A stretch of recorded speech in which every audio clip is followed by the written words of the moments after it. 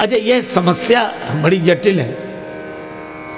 अगर आज भी देखो तो शिक्षा ने ऐसा कमाल किया है कि हमारी बौद्धिक प्रतिभाएँ बढ़ गई। हैं हम बौद्धिक स्तर पर बहुत प्रतिभावान हो गए इंटेलिजेंट हो गए।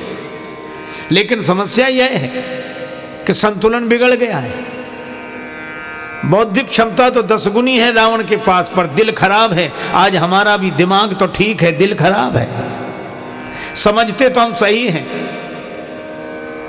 अच्छा जब कोई बात सही समझ में आती तो सिर हिलता है कि नहीं? जब कोई कहते बात ठीक है तो ऐसे कहते हाँ ठीक मतलब सिर स्वीकार कर रहा है कि बात ठीक है, पर बाहर से सिर स्वीकार करता, भीतर बैठा, मन वो कहता, तुम कितनी सिर हिलाओ, मानना तो हमें है। समस्या असल में समझ की नहीं है। अच्छा आज कौन ऐसा है जो समझता ना हो? अच्छा चलो हमेशा से लोग समझते रहे हैं। अच्छा चलो, आपको एक उदाहरण दूँ। हित अनहित पशु पक्षी जाना पशु पक्षी भी समझते हैं।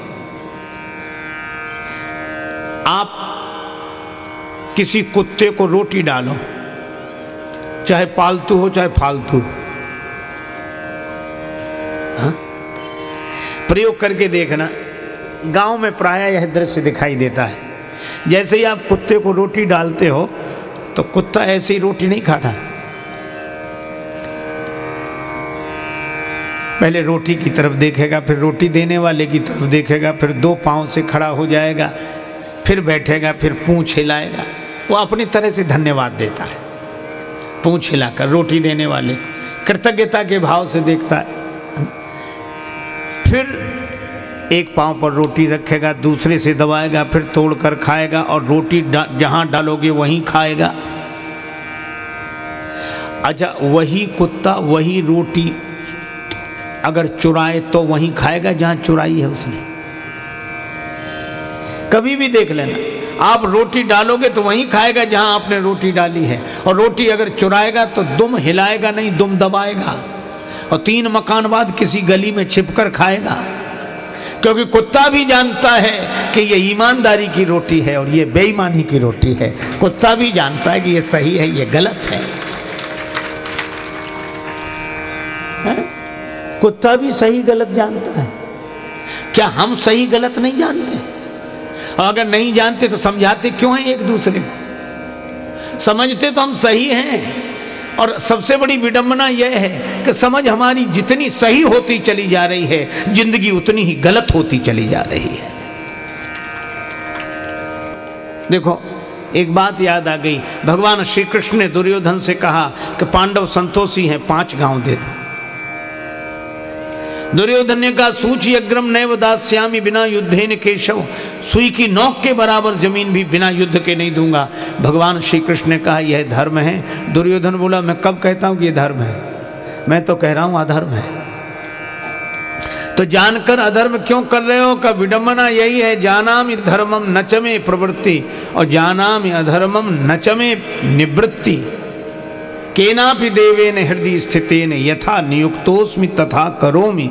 मैं जानता हूँ कि धर्म क्या है, पर उसमें मेरी प्रवृत्ति नहीं है, और मैं जानता हूँ कि अधर्म क्या है, उससे मेरी निवृत्ति नहीं है। कोई ऐसी ज़बरदस्त ताकत मन में बैठी हुई है, जैसा नियोजित करती है, मैं वैसा करने के लिए विवश हो जाता हूँ। अच्छा दुर्योधन ने जो बात कही है, वो हम सबके लिए प्रेरणादायी है। कौन नहीं जानता कि ये काम गलत है, फिर करता क्यों है? विवश है। किससे विवश है? दुर्योधन को भगवान श्री कृष्ण ने उत्तर नहीं दिया, अर्जुन को उत्तर दिया गीता में, और यही कहा कि प्रत्येक प्राणी अपनी प्रकृति से परवश होकर कर्म करता विवश है। प्रकृति माने स्वभाव। हम अपने स्वभाव से मजबूर हैं, समझ तो ठीक है। समझाने वाले भी ठीक हैं, समझने वाले भी ठीक हैं, समस्या स्वभाव की है। तो ये स्वभाव बदले कैसे? अपने यहाँ दो शब्द हैं। एक है शिक्षा और एक है दीक्षा। एक है शिक्षा और एक है दीक्षा। शिक्षा चेतन मन पर काम करती है और दीक्षा अवचेतन मन पर काम करती है। शिक्षा बुद्धि को सुधारती है, लेकिन जो दीक्षा है, वह मन को बदलती है, स्वभाव को बदलती है। हम लोग शिक्षा शिक्षा सीख गए, दीक्षा का हमें पता नहीं। अच्छा ऐसे भी कई संत हुए जिन्हें जो शिक्षित नहीं थे, पर उनके जीवन में दीक्षा थी। इसलिए वे बोलकर तो नहीं बता पाते थे, लेकिन ज़िंदगी सही जीते थे। और ऐसे भी हम लोग हैं जो बोलकर तो सही बताते हैं, पर दीक्षा के अभाव में ज़िंदगी सही जी नहीं पाते हैं। स्वभाव जब बदलेगा कबीरा यह मन मलिन है, धोए न छूटे रंग कै छूटे हरि नाम सो कै संतन के संग। स्वभाव जब बदलेगा, तब केवल एक उपाय है। या सिर और उर एक हो जाए जहाँ शिक्षा और दीक्षा एक हो जाए, आहा जहाँ समझ और स्वभाव एक हो जाए तो ज़िंदगी धन्य हो जाती है। वही जीवन का सुंदर कांड है।